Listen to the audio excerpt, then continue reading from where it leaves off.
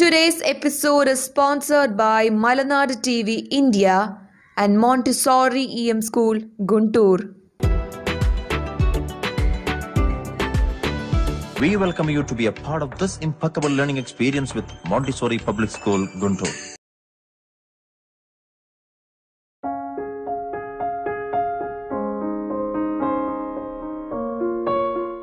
അപ്പോൾ അടുത്തതായിട്ട് നമ്മൾ ഡിസ്കസ് ചെയ്യാൻ പോകുന്നതാണ് വേദിക് ഏജ് ഈ വേദിക് ഏജിനെ നമുക്ക് രണ്ട് തരത്തിലായിട്ട് തരംതിരിക്കാം. ഒന്നതാണ് ഏർലി വേദിക് പീരീഡും പിന്നെ ലേറ്റ് വേദിക് പീരീഡും ഈ ഏർലി വേദിക് പീരീഡ് സ്റ്റാർട്ട് ചെയ്തത് തൗസൻഡ് ഫൈവ് ഹൺഡ്രഡ് തുടങ്ങി തൗസൻഡ് ബി സിയിലാണെങ്കിൽ ഈ ലേറ്റ് വേദിക് കൾച്ചർ തൗസൻഡ് തുടങ്ങി ഫൈവ് ഹൺഡ്രഡ് ബി സി വരെയാണ്. അപ്പോൾ ആദ്യം വേദിക് ഏജ് എന്താന്ന് നമുക്ക് ഡിസ്കസ് ചെയ്യാം. ഈ വേദിക സ്റ്റാർട്ട് ചെയ്യുന്നത് ഈ ആര്യൻസ് എന്ന പേരിലുള്ള അല്ലെങ്കിൽ ഒരു റേസിൽപ്പെട്ട ഒരു വിഭാഗത്തിൽപ്പെട്ട കുറെ ആൾക്കാർ ഇവിടെ എമിഗ്രൻസ് ആയിട്ട് ഇവിടെ വന്നപ്പോഴാണ്. ഈ വേദിക് ഏജ് അല്ലെങ്കിൽ വേദിക് കൾച്ചറിലാണ് ഈ ആര്യൻസ് വേദങ്ങൾ സൃഷ്ടിച്ചതെന്ന് അല്ലെങ്കിൽ കമ്പോസ് ചെയ്തതെന്ന് വിശ്വസിക്കുന്നു. അതിൽ ഏറ്റവും ആദ്യം അവർ കമ്പോസ് ചെയ്തത് ഋഗ്വേദകളാണ് അതുകൊണ്ട് തന്നെ ഈ വേദിക് ഏജിനെ ഋഗ് വേദിക് ഏജ് എന്നും കൂടി പറയപ്പെടുന്നുണ്ട്. ഈ കാലഘട്ടത്തിൽ കൂടുതൽ ആർക്കിയോളജിക്കൽ സോഴ്സസ് ഒന്നുമില്ല. പക്ഷേ ഋഗ്വേദ അല്ലെങ്കിൽ ആദ്യം ഉണ്ടാക്കി ഇവർ കമ്പോസ് ചെയ്ത വേദങ്ങളാണ് ഒരു ലിറ്റററി സോഴ്സ് ആയിട്ട് നമുക്ക് കിട്ടിയിരിക്കുന്നത്. ഈ വേദിക് ആദ്യം ഇവർ ഋഗ്വേദങ്ങളൊക്കെ ഉണ്ടാക്കിയപ്പോൾ അല്ലെങ്കിൽ കമ്പോസ് ചെയ്തപ്പോൾ ഓറലിയാണ് അത് ട്രാൻസ്മിറ്റ് ചെയ്തത്. ഒരാളിൽ നിന്ന് മറ്റൊരാളിലേക്ക് ഈ ഗുരുകുല സമ്പ്രദായത്തിൽ. പക്ഷേ വീണ്ടും കുറേ കാലങ്ങൾ കഴിഞ്ഞപ്പോൾ അതൊരു ലിറ്റററി സോഴ്സ് ആയിട്ട് മാറി. അവർ എഴുത്ത് തുടങ്ങിയപ്പോൾ എഴുത്ത് പഠിച്ചപ്പോൾ. അതുപോലെ തന്നെ വേറെ രീതിയിലത്തെ ഒരു ആർക്കിയോളജിക്കൽ സോഴ്സസോ എവിഡൻസ് ഇല്ല. ഇതിന്റെ ഏറ്റവും വലിയൊരു കാരണം എന്ന് വെച്ചാൽ ഇവർ പൊതുവേ ഒരു നൊമാഡ്സ് ആയിരുന്നു. ഒരു സ്ഥലത്തിൽ കൂടുതൽ കാലഘട്ടത്തിൽ ഒരു കൂടുതൽ ഒരു സീസണിൽ കൂടുതൽ അവരവിടെ താമസിക്കില്ലായിരുന്നു. ഈ ഇൻഡസ് വാലി സിവിലൈസേഷനായിട്ടുള്ള സ്റ്റാർ കോൺട്രാസ്റ്റ് ആയിരുന്നു ഈ ആറിയൻസ് എന്ന് പറഞ്ഞാൽ. കാരണം ഈ ഇൻഡസ് വാലി സിവിലൈസേഷൻസ് കൂടുതൽ അമ്യൂണിറ്റീസിനാണ് അവർ പ്രാധാന്യം നൽകിയിട്ടുണ്ടെങ്കിൽ ഈ ആര്യൻസ് കൂടുതൽ ഈ സൂപ്പർസ്റ്റിഷ്യൻസിനും പിന്നെ അതുപോലത്തെ കുറേ ട്രഡീഷൻസിനാണ് അവർ പ്രാധാന്യം നൽകിയിട്ടുള്ളത്. ഈ ഇന്ത്യത്തെ റിലീജിയന്റെ ഫൗണ്ടേഷൻ കൊടുത്തത് പോലും ഈ ആര്യൻസ് ആണ്. അവരുടെ കുറെ സിസ്റ്റംസും ബിലീഫ്സും കാര്യങ്ങളൊക്കെയാണ്. പിന്നെ ഒരു ഹിന്ദുവിസം എന്നുള്ള റിലീജിയനും പിന്നെ പല രീതിയിലത്തെ കൾച്ചേഴ്സും പ്രോസ്പെർ ആയിട്ട് അവർ വന്നത്. ഇവർ പല രീതിയിലത്തെ ഗോഡും ഗോഡസസ് ഉണ്ടായിരുന്നു. പക്ഷെ ഏറ്റവും കൂടുതൽ അവർ പ്രാർത്ഥിച്ചിരുന്നതും അവർ വർഷിപ്പ് ചെയ്തിരുന്നതും നേച്ചറിനെയായിരുന്നു അതായത് സൂര്യൻ അഗ്നി വായു ആ രീതിയിലത്തെ പല പേരിൽ ഈ നേച്ചറിന്റെ പല ആസ്പെക്ട്സിനും എലമെന്റ്സിനും ഇവർ പൂജ ചെയ്യുന്നുണ്ടായിരുന്നു. പക്ഷേ പൂജ ചെയ്യുന്നത് മണ്ണിനും വേണ്ടിയോ ധാന്യങ്ങൾക്ക് വേണ്ടിയല്ല. പൂജ ചെയ്തിരുന്നത് പശുവിന് വേണ്ടിയാണ്. ഈ ഇൻഡസ് വാലി സിവിലൈസേഷനിൽ പല രീതിയിലത്തെ സീൽസും പിന്നെ ഒരു രീതിയിലത്തെ ഒരു ബാട്ടർ സിസ്റ്റത്തിന്റെ ഒരു കറൻസിയൊക്കെ കണ്ടിട്ടുണ്ട്. പക്ഷെ ഈ വേദി സിസ്റ്റത്തിൽ ഒരു തറോ അല്ലെങ്കിൽ ഒരു കംപ്ലീറ്റ് ബാർട്ടർ സിസ്റ്റം ആയിട്ടാണ് നമ്മൾ കാണുന്നത്. അവർക്ക് കാറ്റിൽ അല്ലെങ്കിൽ പശുവിനെയാണ് ഏറ്റവും കൂടുതൽ പ്രോമിനൻസ് കൊടുത്തത്. അതിന്റെ ഏറ്റവും വലിയ ഒരു ഉദാഹരണം നൂറ്റി പ്രാവശ്യം പശു അതായത് ഗൗ എന്നുള്ള ഒരു വാക്ക് ഇവർ മണ്ഡലസിൽ ഉപയോഗിച്ചിട്ടുണ്ടായിരുന്നു. ഇവരെ ലിറ്റററി സോഴ്സസിൽ അതുപോലെ തന്നെ ഈ ഏൻഷ്യൻ റിലീജിയൻ ഇത് ഡിപ്പിക്ട് ചെയ്യുന്നത് ഇവരുടെ രീതിയിലത്തെ പല രീതിയിലത്തെ ഓറൽ പോയട്രിയും പ്രോസിലൂടെയാണ് അവരുടെ പ്രാർത്ഥനകൾ ജപങ്ങൾ പിന്നെ കുറെ സ്പെൽസും അങ്ങനത്തെ കുറെ കമന്ററീസ് ആണ് ഇവരുടെ വേദ എന്ന് പറയുന്നത്. ഇവർ ഏറ്റവും കൂടുതൽ വിശ്വസിച്ചിരുന്നത് അല്ലെങ്കിൽ ആൾക്കാരെ പറഞ്ഞ് പേടിപ്പിച്ചിരുന്നത് കർമ്മ അല്ലെങ്കിൽ ലൈഫ് സൈക്കിളിന്റെ പേരിലാണ്. അതായത് ഈ ജന്മത്തിൽ നിങ്ങൾ നല്ലൊരു കർമ്മ ചെയ്തിട്ടുണ്ടെങ്കിൽ അടുത്ത ജന്മത്തിൽ ഒരു ബെറ്റർ ആയിട്ടുള്ള ഹ്യൂമൻ ആയിട്ട് നിങ്ങൾക്ക് ജനിക്കാൻ ഒരു അവസരം കിട്ടും എന്നുള്ളത് ഈ ഏർലി വേദിക് കൾച്ചറിലാണ് ഋഗ്വേദം കമ്പോസ് ചെയ്തത്. ഏറ്റവും ആദ്യത്തെ അവരുടെ വേദം ഇവർ കമ്പോസ് ചെയ്തത് ഋഗ്വേദമാണ്. ഈ വേദം എന്ന് പറഞ്ഞാൽ നോളജ് എന്നാണ് അർത്ഥം. ഇവർ ഉപയോഗിച്ച ഭാഷ സംസ്കൃതമാണ്. അതുപോലെ തന്നെ ഇൻഡോ യൂറോപ്യൻ ലാംഗ്വേജിൽ ഇവർ സംസാരിച്ചിരുന്നു എന്ന് അറിയപ്പെടുന്നുണ്ട്. ഈ മണ്ടൽസ് എന്ന് പറഞ്ഞാൽ ചാപ്റ്റേഴ്സ് എന്നാണ് അർത്ഥം. ഒരു മണ്ടലിൽ പത്ത് എണ്ണം ഉണ്ട്. പത്ത് ചാപ്റ്റേഴ്സ് ഉണ്ട്. അതിൽ രണ്ട് തുടങ്ങി ഏഴ് വരെയുള്ള ചാപ്റ്റേഴ്സ് ആണ് ഏറ്റവും ഓൾഡസ്റ്റ് ആയിട്ടുള്ളത്. ഓരോ മണ്ടൽസിലും തൗസൻഡ് ട്വന്റി എയ്റ്റ് സുക്താസും അതിൽ പതിനായിരത്തി നാനൂറ്റി അറുപത്തിരണ്ട് ശ്ലോകങ്ങളും ഉണ്ടായിരുന്നു. പൊതുവേ ഈ വേദങ്ങളും ഇവരെ കണ്ടന്റുകളും ഉൾക്കൊണ്ടത് ഈ ആര്യൻസിന്റെ സ്ട്രഗിൾസ് ആണ്. അതായത് how we had to face Dravidians ഇവിടുത്തെ ഈ ഇൻഡിജീനിയസ് ആയിട്ടുള്ള കമ്മ്യൂണിറ്റി ആയിട്ടുള്ള സ്ട്രഗിൾ അതുപോലെ തന്നെ ഇവർ തമ്മിലുള്ള സ്ട്രഗിൾസ് ഈ ആര്യൻസ് എന്ന് വെച്ചാൽ ഒറ്റടിക്കല്ല ഈ വെസ്റ്റേൺ നേഷൻസ് നിന്ന് വന്നത്. പല പല കാലഘട്ടം നിന്ന് പല പല ട്രൈബ്സ് ആയിട്ടാണ് ഇവർ വന്നത്. അപ്പോൾ ഇവരുടെ ട്രൈബ്സിൽ തമ്മിലും ഒരു കോൺസ്റ്റന്റ് കോൺഫ്ലിക്റ്റും ക്ലാഷസ് ഉണ്ടായിരുന്നു. ഈ മഹാഭാരതയൊക്കെ അതിന്റെ ഒരു എക്സാമ്പിൾ ആയിട്ടാണ് പറയുന്നത്. ഇവർ വന്നത് നോർത്ത് വെസ്റ്റ് ഇന്ത്യയിൽ ഒരു പാസ്റ്റോറൽ കമ്മ്യൂണിറ്റി. ഈ ഇൻഡസ് വാലി സിവിലൈസേഷൻ ഏറ്റവും കൂടുതൽ പ്രാധാന്യം കൊടുത്തിരുന്നത് ട്രേഡിനും അഗ്രികൾച്ചറിലാണെങ്കിൽ ഇവർ ഏറ്റവും കൂടുതൽ പ്രാധാന്യം കൊടുത്തത് പാസ്റ്റോറൽ സെറ്റിൽമെന്റ്സ് അതായത് ഈ നാൽക്കാലികളെയും പശുക്കളെയും ആടുകളെയും മേയ്ക്കാനായിരുന്നു. ഇപ്പോൾ നമ്മൾ പറഞ്ഞല്ലോ ഇവർക്ക് ഏറ്റവും കൂടുതൽ ഇമ്പോർട്ടൻസ് കൊടുക്കുന്നത് പശുക്കളാണ്. പശുവിന്റെ അടിസ്ഥാനത്തിലാണ് പശുവാണ് ഇവരുടെ ബാട്ട സിസ്റ്റം ഒരു കറൻസി അല്ലെങ്കിൽ ഒരു ഗിഫ്റ്റായിട്ട് ഇവർ കാണുന്നത്. ഇവർ ഇന്ത്യനെ വിളിച്ചത് സപ്ത സിന്ധു എന്നാണ്. അതായത് ഏഴ് വലിയ നദികളുള്ള ഒരു രാജ്യം. ഇവർ പുതിയ സാൻസ്ക്രിറ്റും ഇൻഡോ യൂറോപ്യൻ ലാംഗ്വേജ് ആണ് സംസാരിച്ചിരുന്നത്. അത് ഞാൻ പറഞ്ഞിരുന്നല്ലോ. അതുപോലെ തന്നെ ഇവർ കണ്ടുപിടിച്ച പേരല്ല ഇന്ത്യ എന്നുള്ളത്. അതായത് ഗ്രീക്കുകാരിട്ട പേരാണ് ഇന്ത്യ എന്ന്. അതായത് they named India by the river of Indus Indus എന്നുള്ള പേര് കണ്ടിട്ടാണ് അവർ നമ്മൾ ഇന്ത്യ എന്നുള്ള പേര് വന്നത്. അതേപോലെ തന്നെ ഒരു രീതിയിലത്തെ ഒരു തിയറിയാണ് ഈ ആര്യൻസ് വന്നപ്പോഴാണ് ഈ ഇൻഡസ് സിവിലൈസേഷൻസ് ഒന്ന് കൊളാപ്സ് ചെയ്തത്. ഇവരുടെ കുറെ അടിച്ചമർത്തം കൊണ്ടാണ് നമ്മുടെ സിവിലൈസേഷൻ ചിന്നി ചിന്നിച്ചിതറിപ്പോയെന്നുള്ളത് അത് പല രീതിയിലും പല ഹിസ്റ്റോറിയൻസും അത് ഫോൾസ് ആണ് ഇത് ജസ്റ്റ് തിയറി മാത്രമാണെന്ന് പല രീതിയിൽ തെളിയിച്ചിട്ടുണ്ട്. അതിൽ ഏറ്റവും പ്രോമിനന്റ് ആയിട്ടുള്ള ഒരു എവിഡൻസ് ആണ് അവരൊരിക്കലും ഒന്നിച്ചല്ല വന്നത്. അതായത് ഈ സെൻട്രൽ ഏഷ്യൻ പ്രൊവിൻസ് അല്ലെങ്കിൽ ഒരു വെസ്റ്റേൺ റീജിയനിൽ നിന്ന് പല പല കാലഘട്ടങ്ങളിൽ നിന്നും പല പല ട്രൈബ്സും ചിലപ്പോൾ പത്ത് പേര് വന്നു. ഒരു പന്ത്രണ്ട് വർഷം കഴിഞ്ഞിട്ടായിരിക്കും പിന്നെ ഒരു അമ്പത് പേര് വന്നത്. അങ്ങനെ പല പല കാലഘട്ടത്തിൽ നിന്ന് വന്ന ആൾക്കാർ എങ്ങനെയാണ് ഓവർ പവർ ചെയ്യുക എന്നുള്ളത്. ഇപ്പോൾ നമ്മുടെ കേരളയിൽ പല രീതിയിലും അന്യദേശ തൊഴിലാളികളുണ്ട്. ഈ ബീഹാരികളും ബംഗാളികളും. അവർ ഇമിഗ്രൻസ് ആയിട്ടാണ് ഇവിടെ വന്നത് അല്ലാതെ ഇൻവേഡേഴ്സ് ആയിട്ടല്ല. അവരിവിടെ ജോലി ചെയ്യാൻ അല്ലെങ്കിൽ ജീവിക്കാൻ വേണ്ടി വന്നു. അപ്പോൾ അതുപോലെ തന്നെയാണ് ഈ ആര്യൻസും വന്നത്. ഈ ആര്യൻസിന്റെ പേരിന്റെ അർത്ഥം നോബിൾ എന്നാണ്. അവർ പൊതുവെ സെമി നൊമാഡിക് ലൈഫായിരുന്നു പറഞ്ഞല്ലോ അവർ ഒരു സീസൺ അല്ലെങ്കിൽ ഒരു കാലഘട്ടത്തിൽ കൂടുതൽ ഒരു സ്ഥലത്ത് അവർ ഉറച്ചു ജീവിക്കില്ല. ഇവർക്ക് രാജാവും ചീഫും ഉണ്ടായിരുന്നു. പക്ഷെ എന്നാൽ പോലും ഇവർക്ക് ഒരു ടെറിറ്റോറിയൽ രാജാവായിരുന്നില്ല. അതായത് ഇവർക്ക് ഒരു സ്ഥലത്ത് ഇവർ സെറ്റിൽമെന്റ് ഇല്ലാത്തതുകൊണ്ട് ഇത്രയും ഭാഗം എന്റെ കിങ്ഡം എന്നുള്ള ഒരു കോൺസെപ്റ്റ് ഇവർക്ക് വന്നിട്ടുണ്ടായിരുന്നില്ല. ഇവർ അപ്പം മാറിക്കൊണ്ടിരിക്കും. ഇവരെ സംബന്ധിച്ചിടത്തോളം ഏറ്റവും കൂടുതൽ പണമുള്ള അല്ലെങ്കിൽ ഏറ്റവും കൂടുതൽ റിച്ച് ആയിട്ടുള്ള ഒരാൾ ഏറ്റവും കൂടുതൽ പശുക്കൾ അല്ലെങ്കിൽ ഏറ്റവും കൂടുതൽ കാറ്റൽസ് ഉള്ള ആൾക്കാരെന്നാണ് ഇവർ വിശ്വസിച്ചിരുന്നത്. ഒരു വെൽത്തി ആയിട്ടുള്ള ഒരു മാനെ ഗോമത്ത് എന്നാണ് വിളിച്ചിരുന്നത്. ഗോമത്ത് എന്ന് വെച്ചാൽ ഏറ്റവും കൂടുതൽ പശുക്കളുള്ളത്. അതുപോലെ തന്നെ ഇവർ എന്റർ ചെയ്തത് ഖൈബർ പാസിൽ കൂടിയാണെന്നാണ് വിശ്വസിക്കുന്നത്. ഞാൻ പറഞ്ഞിരുന്നല്ലോ ഗൗ എന്നുള്ളൊരു വാക്ക് നൂറ്റി എഴുപത്തി ആറ് പ്രാവശ്യം അവർ റെഫർ ചെയ്തിട്ടുണ്ടായിരുന്നു ഇവരുടെ ലിറ്റററി സോഴ്സസിൽ പിന്നെ പശു എന്ന് പറഞ്ഞാൽ എല്ലാം പെടും അതിൽ മനുഷ്യനും കുതിരകളും പെടും. കുതിര എന്നൊരു മൃഗം ഇത്രയും നാൾ വരെയും ഇന്ത്യയിൽ കാണപ്പെട്ടിട്ടുണ്ടായിരുന്നില്ല. ഈ ആര്യൻസ് ആണ് കുതിരകളെ ഇങ്ങോട്ട് കൊണ്ടുവന്നുള്ളൊരു വിശ്വാസം ഒരു തിയറിയും കൂടി പറയുന്നുണ്ട്.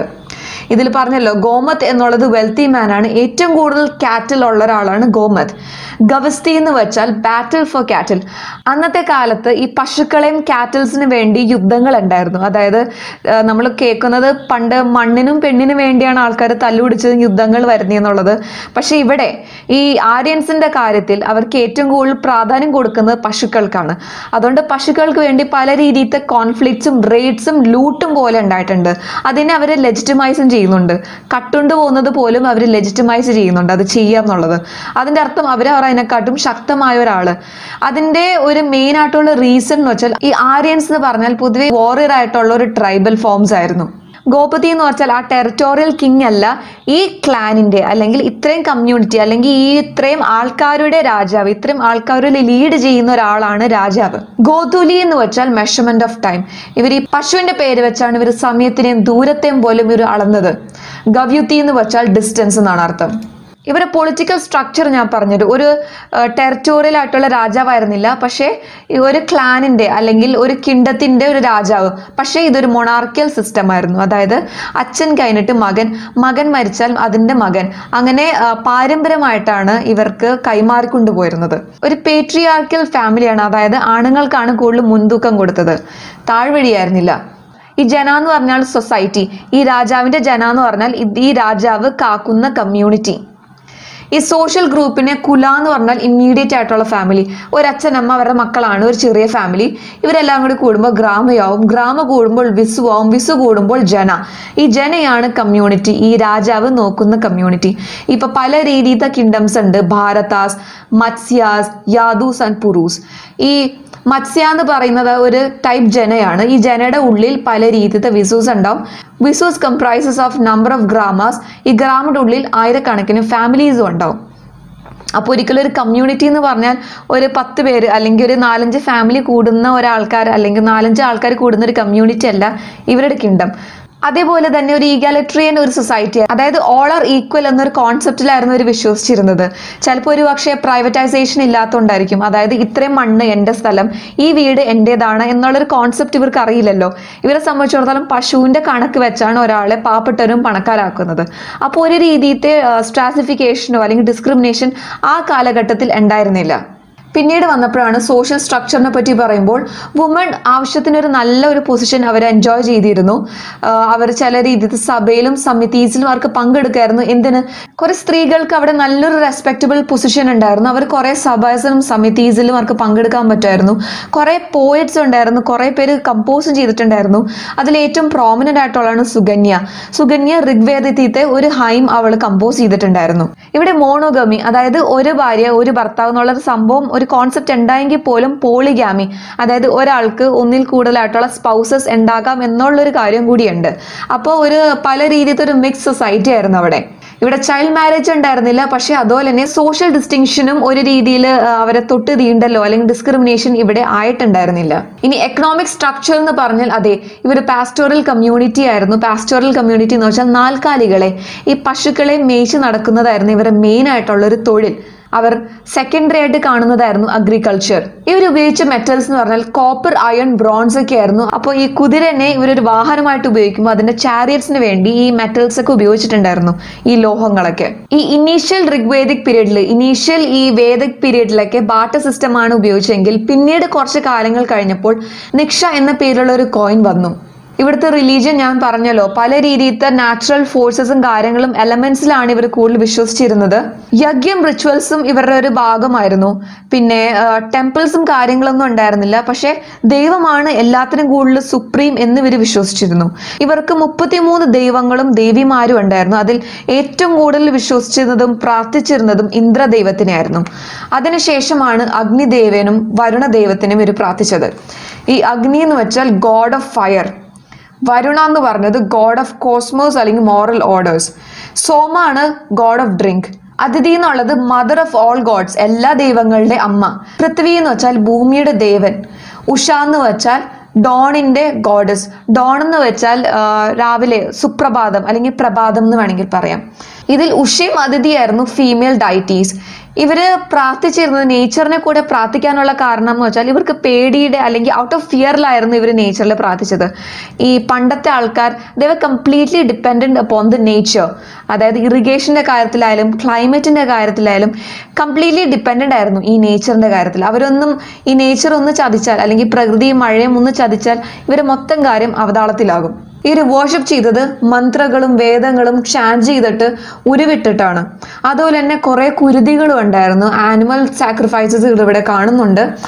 Once in India they settle down as rulers അതിനുശേഷം ഈ ഒരു നേറ്റീവ് ആയിട്ടുള്ള ഡ്രവീഡിയൻ പോപ്പുലേഷനെയൊക്കെ ഓവർ പവർ ചെയ്തിട്ട് അവിടെ കിങ്ഡംസ് സ്ഥാപിച്ചു. അതിലൊന്നാണ് മഹാഭാരത എന്ന് പറയാൻ. അതുപോലെ തന്നെ കുറെ ക്ലാഷസും കുറെ വയലന്റ് ആയിട്ടുള്ള കോൺഫ്ലിക്ട്സ് ഇവർ തമ്മിൽ തന്നെ ഉണ്ടായിരുന്നു. അതുപോലെ തന്നെ ഇവർ യുദ്ധം ചെയ്ത് കഴിയുമ്പോൾ അതിൽ നിന്ന് കിട്ടുന്ന ഓരോ ബൂട്ടീസും ഓരോ കാര്യങ്ങളൊക്കെ ഈ വാർഫെയർ ആയിട്ട് അവർ ഡിസ്ട്രിബ്യൂട്ട് ചെയ്തിരുന്നു. അവിടുത്തെ കമ്മ്യൂണിറ്റീസ് ആൾക്കാർക്ക് അത് ഡിസ്ട്രിബ്യൂട്ട് ചെയ്ത് കൊടുക്കും. കുറെ കാരണങ്ങളുണ്ട്. അതിലൊന്നെന്ന് വെച്ചാൽ ഈ നാട്ടുകാരെ ഈ ജനങ്ങളെ അവരെ ഒന്ന് പ്രീതിപ്പെടുത്താൽ മാത്രമേ ഈ റൂളർ എന്നുള്ള ഒരു പൊസിഷൻ സെക്യൂർഡ് ആകുള്ളൂ അതിനുവേണ്ടി ഈ പ്രീസ്റ്റുകൾ പല രീതിയിലത്തെ യജ്ഞങ്ങളും പൂജകളും നടത്തിക്കൊണ്ടിരുന്നു. ഒരു രീതി പറഞ്ഞാൽ ഇവർ ഈ സൂപ്പർസ്റ്റിഷ്യൻസ് ഒന്ന് ലെജിറ്റമൈസ് ചെയ്യാൻ വേണ്ടിയാണ് ഈ പൂജകളും കാര്യങ്ങളും നടത്തിയത്. ഇവർ പ്രാർത്ഥിക്കുന്നത് തന്നെ ഓക്കെ നമ്മുടെ ദേവൻ ഹാപ്പിയാണ്. ആ അപ്പുറത്തെ ക്ലാൻ അല്ലെങ്കിൽ അപ്പുറത്തെ ട്രൈബിനെ നമ്മൾ ഓവർ പവർ ചെയ്തു. അവരെ നമ്മൾ നശിപ്പിച്ച് കളഞ്ഞു. അപ്പോൾ നമ്മുടെ ദൈവം പ്രസന്നമാണ്. നമ്മുടെ ഗോഡ് ഹാപ്പിയാണ്.